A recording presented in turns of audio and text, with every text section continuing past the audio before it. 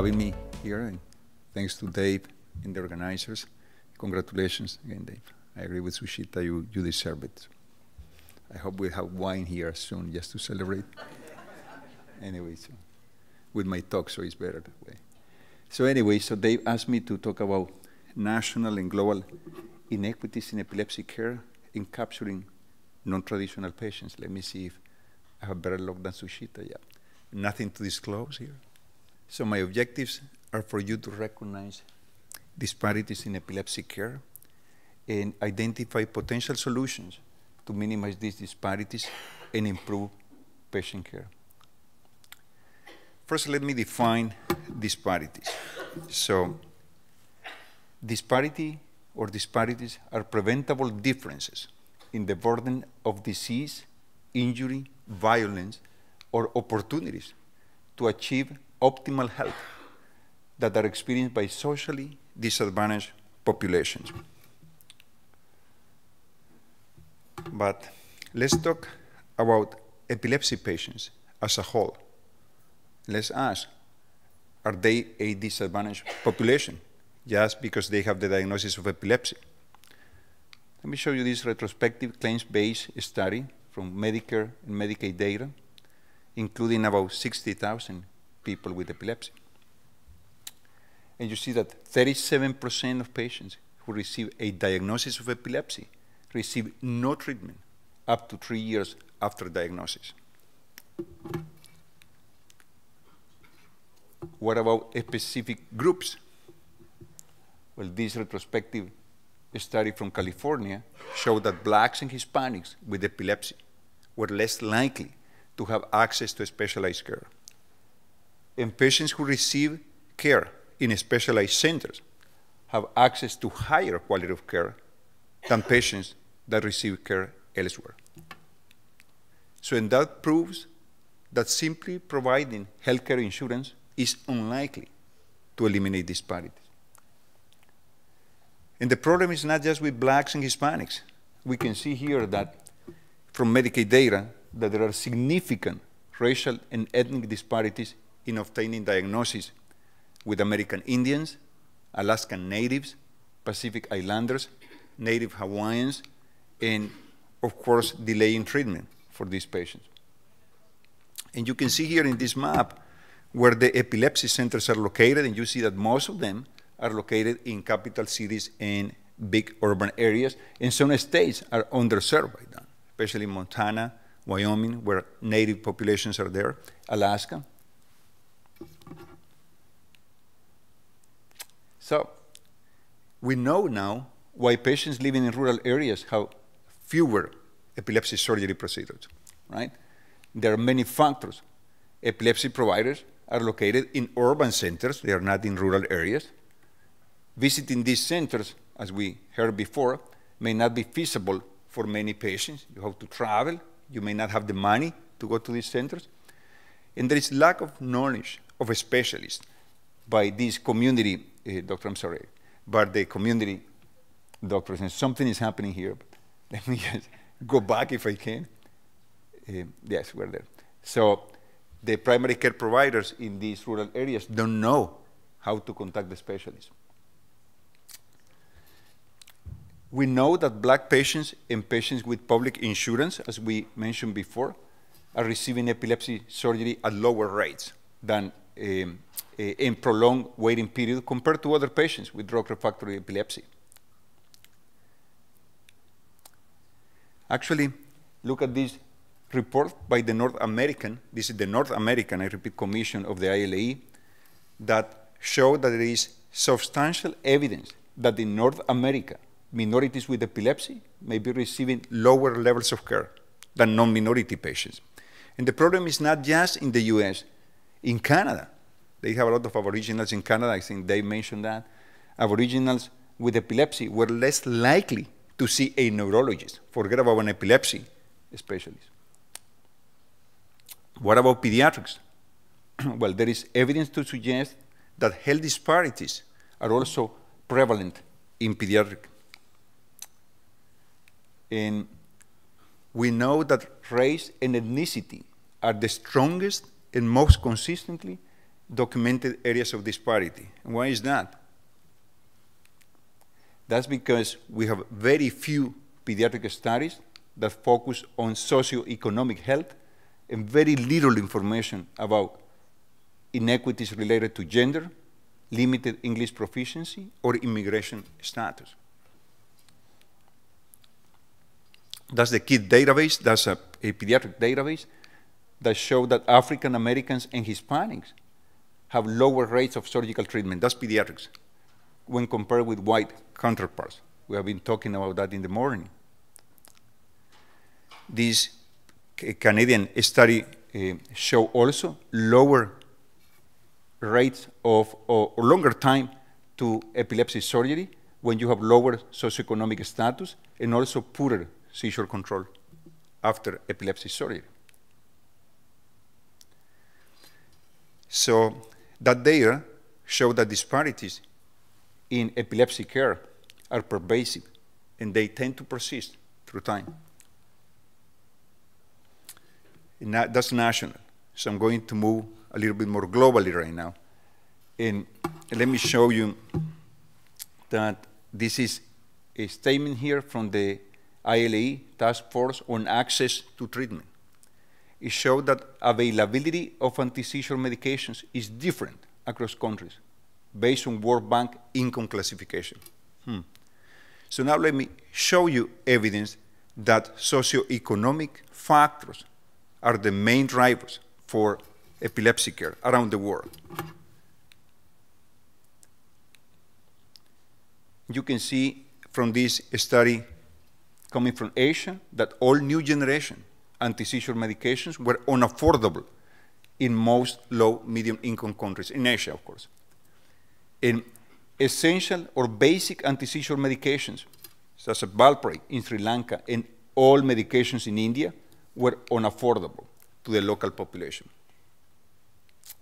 And we know that in most low-income countries, payment of medication comes out of pocket. Right?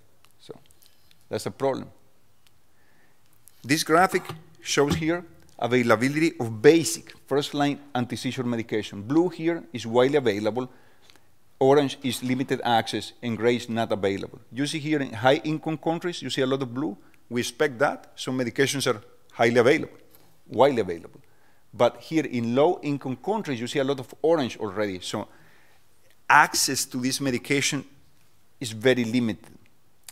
What about second or third generation, meaning newer medications? Again, in high income countries, widely available. In low income countries, you see a lot of gray, almost not available or very, very limited access for newer medications. So again, socioeconomic status. Epilepsy surgery in low and middle income countries, what is going on? It's a review of 148 articles, Show that yes, some countries in Asia and Latin America have epilepsy surgery. But the centers are located in larger cities, and most of the time, driven by, the, by a highly motivated neurosurgeon that lives in the country, usually in the capital city. So he has a few patients operated, not established practice in the country, and the most common uh, operation is a temporal lobectomy, and we're seeing that in El Salvador. Another important factor globally, and that's very important, I want to focus here, is the limited number of trained health professionals. Let me share with you this paper we just published with the International Child Neurology Association. We interviewed 177 countries here, and we found that the greatest deficits in child neurologists and access to training were in low-income countries. And about 75% of low-income countries lack access to child neurologists. Most of these countries were in Africa and in Southeast Asia.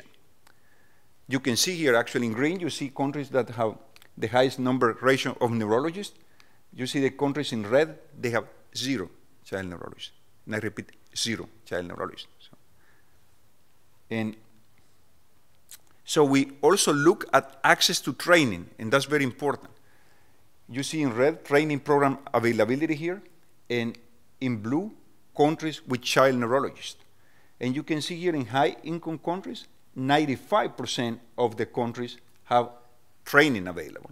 And of course, 100% of high-income countries have child neurologists. Right? We're here. Low-income countries is a different story. You see that only 5% of these countries have access to training, and that's worldwide. And about probably 35 to 37% of the countries have access, truly access to child neurologists. So what about distribution of neurologists? We can see here that most countries have neurologists working in capital cities here in green and big urban areas here in light blue. But there is a scarcity of neurologists in rural areas here in purple, 0% in low income countries.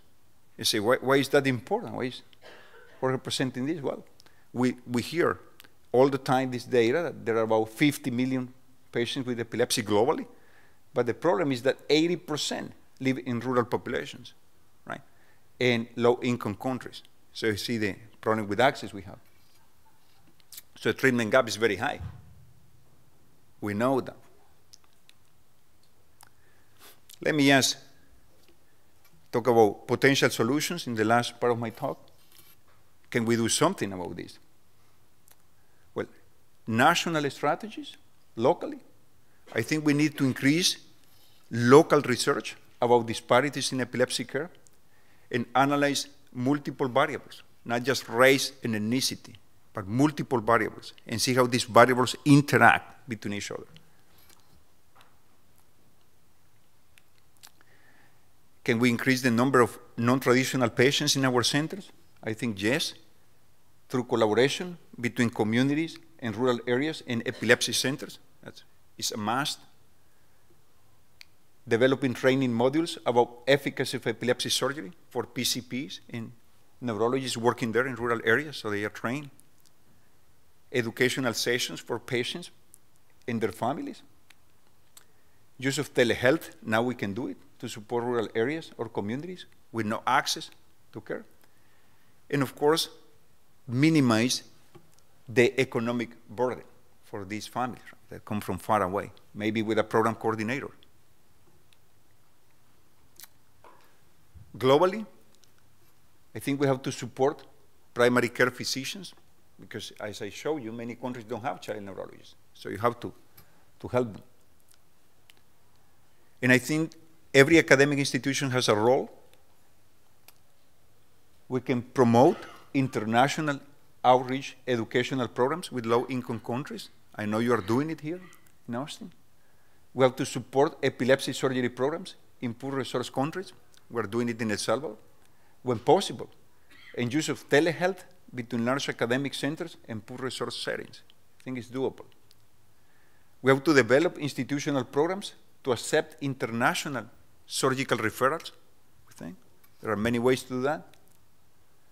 Creation of special programs to offer epilepsy surgery to international patients with limited economic resources, not just with, with insurance, but also with limited economic resources. Academic institutions play a very important role, and I know, I know Dave has been supported by, by UT here to develop multiple programs in the Caribbean to improve access to EEG, epilepsy care, and even epilepsy surgery. We uh, collaborated with the, with the Child Neurology Society to develop training programs in Africa, implementing ketogenic diet, creating EEG labs. We have been working for, for many years had the opportunity to serve as the chair of the um, international committee, so a lot of support from Child Neurology Society. Then we joined forces with ICNA, International Child Neurology Association. Now we have different, different programs in, in different countries with different doctors. This is Pakistan, when we have very underserved population. And I don't know why this is coming here, but I'll, I'll try to, to see if something comes better. Anyway, so this is a slide I wanted to share with you just to, to finish we proposed long time ago a common platform model where all societies come together. We're trying to, to achieve that. It has been very difficult because societies don't communicate between each other. So we don't know what we are doing? We had that problem that the, uh, we were uh, targeting, we were working on a mission in Cuba at some point, and two societies were working on different. We didn't communicate. We didn't have that. So we tried to develop a common platform to develop more efficient, long-term sustainable projects. We're working on that. We have already almost three societies. It's not easy to work on that. But also with the help of academic institutions, private companies, local governments, foundations, and of course local leaders, right? Because local leaders know their needs, the local needs, and the availability of resources. And, and I wanted to show you some slides that I put here just to finish some pictures of, of many wonderful programs, including epilepsy surgery, but I don't think they are here. Dave, I think that was not updated, but that's okay. I just want to, to tell you in the last minute, I'm on time, I still have two minutes. So, uh, uh, that the slides that they couldn't show, um, we, I wanted to show you uh, especially the, the experience we had in, in a very poor country, El Salvador. I'm from El Salvador, so we have been working for many years just to illustrate the problems developing epilepsy surgery programs. We were successful for the first four years. We did some hemispherectomies, temporal lobectomies, and, and we were training neurosurgeons locally through a hybrid program, a, a, a foundation driven by a little girl that was our patient with economical resources. We operated in the United States, and she figured out that in El Salvador, a family uh, earns usually most of the families $200 a month or, or lower income, so they couldn't pay epilepsy surgery, couldn't even pay medications. So she developed, she's a powerhouse, developed uh, many fundraising activities. Now we have medications for these kiddos, just started with a little girl, and, and, and resources, EEG machines and things like that, and now we are doing it again. So just to finish, I tell you, after many years of changing government, we couldn't go in, and the program stopped. Very frustrating, right? Because you say, wow, I worked for so hard. But anyway, when you work internationally, you figure it out, you just do the best you can, and you wait for Don't get frustrated. And then five years later, the government opened again, and we are revisiting that through this child, this foundation. And now we started doing the first operations again, including cortical dysplasias and, and things like that, and kiddos that we couldn't do it. So the point is it takes collaboration. I think the role of academic institutions is huge. Societies are catalyzers of things. But at the end of the day, most of people that are involved work in academic institutions. So you need to negotiate time. You need to convince administration that we have to play a role uh, uh, improving epilepsy care in, uh, at a global level. So with that, I want to thank you.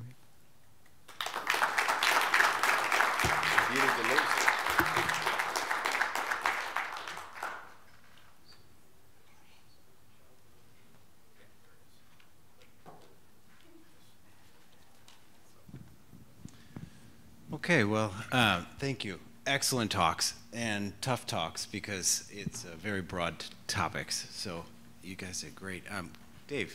Yeah, no, no, ex excellent talks, but a, a couple things. Um, and both will end up being questions, so bear with me. So the World Bank, and you know this, Jorge, their criteria of high income is above $12,000 a year. So if you make $12,001 and you make $66,000 a year, you have the exact same interest rate if you borrow money. So it's actually good for governments to stay middle income, which is counterintuitive and sad. But I'm saying that because in small island states, Papua New Guinea, islands in the Caribbean, there's nuance. And the nuance is because of size, etc., and support, they may not be able to do or even follow anything related to the ILA. But those folks and many in Africa are not included as thought leaders. So you have thought leaders from Europe and the US suggesting what they think is feasible. Two questions out of that. One, how do we facilitate change nationally so that they have people on equal footing discussing things and not some people telling people what to think? And the second thing is you alluded to this, and we have spoken about this. How do we create sustainability so that a change in government may not affect sustainable change? I know two very difficult questions, but I think important.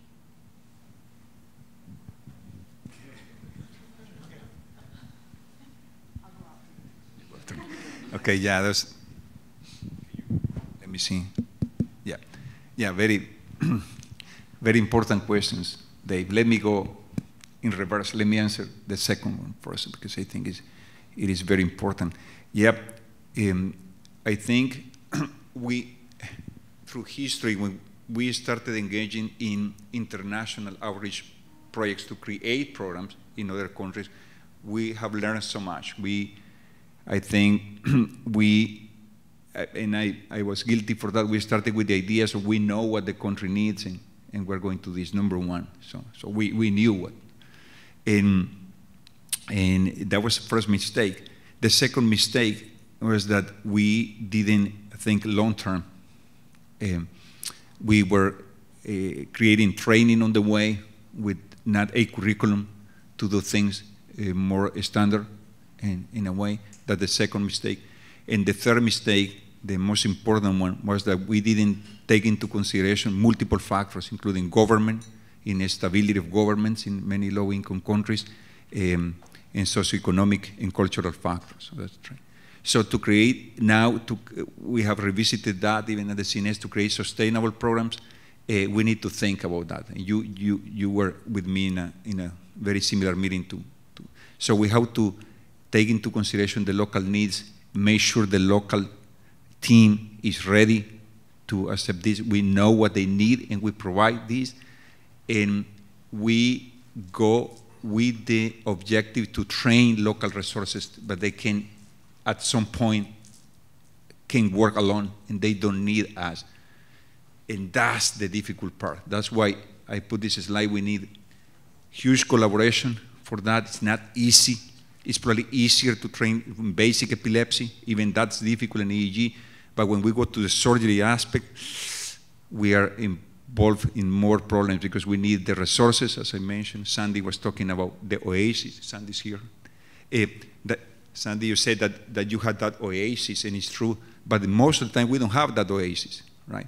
So that's a problem. We go to places that don't have even a 3T MRI, they have a 0.5. In El Salvador, they have a 0.5 MRI. We have to be working with that. so we need to be creative to the things. And so, so you, you need to, to be sure you have the, the infrastructure to create something sustainable. So what we are doing right now is we're assessing very importantly, the needs, especially in Latin America, what we can achieve and what programs we can create. Uh, we cannot create surgery, most of the programs we're not doing in most of the countries. We cannot, we, we think we're not ready for that step. So, so the, the short answer is more analysis to the situation because it's difficult, taking in consideration these three factors and seeing how we create training, local training that's going to be, you know, ongoing when we're not there. Nationally, it's more difficult. I think nationally, um, we have again to take into consideration laws of every state. Every state is different. I'm from Ohio. We try to help kids from West Virginia, and it has been very difficult. Sometimes they are very, even by telehealth, we have many big population. Medicaid West Virginia doesn't pay us the hospital for the telehealth medicine. Even we want to help, so we need to to understand the local policies and the local government you know, in, in, in every state to, to that. But again, I think it's responsibility of the big centers to get in touch with the community and, and, and create more educational programs. Since Jorge asked me to chime in, I will. Um, I think it the, nationally it's it's really tricky. Uh, local state laws, reimbursement drives a lot of what we do. Uh, on one of my slides, I had just a reference to a hub and spoke model called Project Echo, which at the heart of it, when you think of it conceptually, it's a really elegant model to link primary care doctors to neurologists, epileptologists, or link neurologists to epileptologists to bring that higher level of epilepsy care. So if it's such an, and it's, it's easy to implement, on the face of it, it's not expensive, so then where does it fail and why is it not sustainable? Because it doesn't, it doesn't, the, the word, are, the three letters RVU are not attached to it. So unfortunately, you know, a lot of finances and the economics do drive this. But I think also sending the message and maybe, and again, this may just be kind of a pie in the sky kind of uh, statement that I'm going to make. You know, we heard about epilepsy surgery, advanced treatments of epilepsy being seen at an epilepsy center. Even thinking about those treatments saves money in the long run. So that's the kind of message I think if we can drive that home over and over and over again, uh, it's an important message to drive home. When that will take, whether that will take, but I don't think because it hasn't taken so far, it should not be something that we stop doing.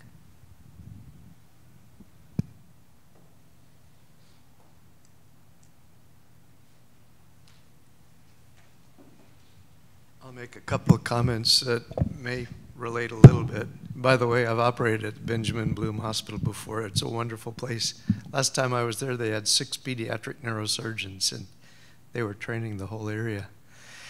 Um, we talked earlier this morning about the Lancet Commission study on essential access to surgical care. And out of that initiative in 2015 was born an organization called the G4 Alliance. I don't know if you've heard of that, but G4 Alliance is SOTA care, surgical obstetric, trauma, and anesthesia care. It's an international group that's working together and has been very effective at the World Health Organization level in trying to make inroads into access to surgery, primarily trauma, as you can imagine, and, and obstetrical things. But that's an organization worth knowing about. The second is that in many low income countries, they've been supported by the World Bank long enough that servicing their national debt is more than their healthcare budget as a nation. And there's currently some discussion going on at the World Bank level about forgiving the debt to some of those countries so that they can increase their healthcare spending, which I think would help a great deal.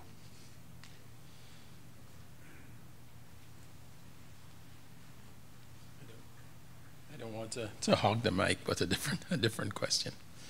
So they have the health train in India. Uh, they have medication deliveries in Malawi, etc., um, miles and miles away during natural disasters. Can you guys speak to what we can learn here in the US about how they mitigate and improve access in many of these countries that we could potentially do here? I know the Carolinas are trying to do some of that delivery. But I don't think any of us here, I mean, as you can see, we're passing the microphone across the table because we all have an answer to this. Maybe easier questions. But, um, no, but I think making access to care in general, I think it's, I've, I've been saying this, it starts at the beginning. And I think increasing the comfort level of a primary care doctor to write for an ethosuximide prescription for a child with absence and not just farm that kid off to a neurologist. Um, if a child transfers care from one state to another, by the time a child is getting settled down and the family is figuring out what to do, God knows I'm in the middle of all that still, uh, is to have somebody in the community who is that partner. So I think our academic hospitals, our societies, places like the American Academy of Pediatrics nationally are pretty powerful places that can deliver these messages. And I think it is, you know, education, communication, education, communication. It's not going to solve problems, but it's a place to start. Yeah.